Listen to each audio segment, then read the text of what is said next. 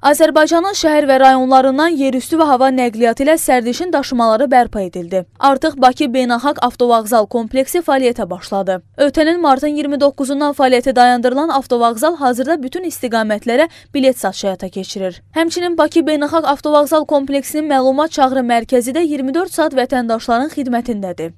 Öncədən satış, həm də ki, e, onlayn satışlarımız həyata keçirilir.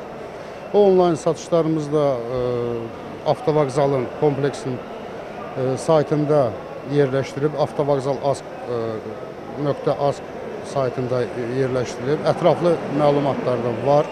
Yəni e, əhalidən heç avtovağzala gəlmədən artıq onlayn satış vasitəsilə bilet əldə edə bilərlər. Ərazidə yerləşən kassalardır, saxlama otaqlarıdır. Ondan sonra gözləmə zallarında bütün dezinfeksiya işləri aparılmışdır.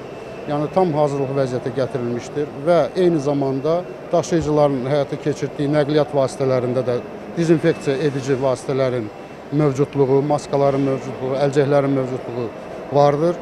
E, yəni sərnişinlərə belə xidmət göstərilir. Həm biz tərəfindən, həm e, daşıyıcılar tərəfindən. Bakı metropoliteninin də fəaliyyəti bərpa edilib. Metro stansiya və qatarlarda tibbi maskadan istifadə və sosial məsafəni qorumaq zəruridir. Xüsusi karantin rejiminə tətbiq olunan yumşaldılmalar çərçivəsində açıq havada tibbi maska taxmadan gəzməyə icazə verilir. Lakin qapalı bazarlarda, ictimai yaşayış, ticarət və xidmət obyektlərində maskadan istifadə isə qüvvədədir. Sağlam İnkişaf və Maarifləndirmə İctimai Birliyinin sədri Anar Xəlilov yumşalmalar fonunda peyvəndləmənin daha ciddi əhəmiyyət kəsb etdiyini bildirdi. Onun sözlərinə görə əldə olunan müsbət dinamikanı qoruyub saxlamaq üçün tək yol vaksinasiya prosesində fəal iştirak etməkdir.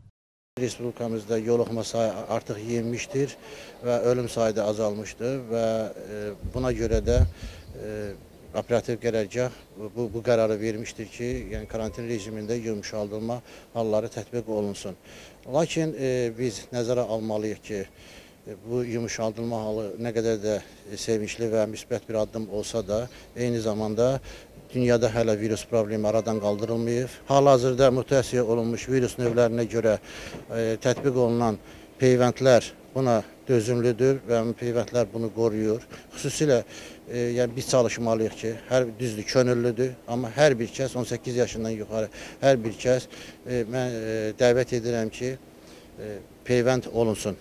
Bu gün Azərbaycanda məlum olduğu kimi yanvar ayından artıq peyvəndlənmə prosesi başlayıb. Cənubi Qafqazda ilk olaraq Azərbaycan bu prosesi başlayıb və Azərbaycanda şükürlər olsun ki, ölkə rəhbərinin böyük səyi nəticəsində demək olar ki, peyvəndlə Azərbaycan əhalisi tam təmin olunub və buradan qorxmaq, çəkinmək lazım deyil. Qeyd edək ki, tətbiq olunan yumşalmalarla yanaşı bir sıra köhnə qaydalar da qüvvədə qalır. Azərbaycanda iyunun 28-nədək həftə sonları ictimai nəqliyyat və metro sərnişin daşıma fəaliyyətini dayandıracaq.